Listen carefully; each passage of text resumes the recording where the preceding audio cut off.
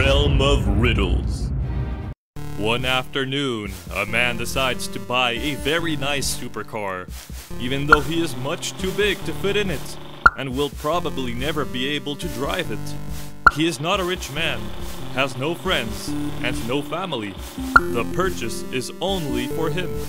Why does he spend money to buy this supercar, despite not being able to fit in it? Pause the video now to solve the riddle for yourself. The man may have bought a supercar, despite not being rich. But what size was this supercar? In reality, the man's supercar fits on a shelf, as it is a reduced size model toy car.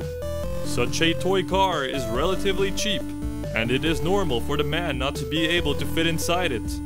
He bought the supercar simply to look at it.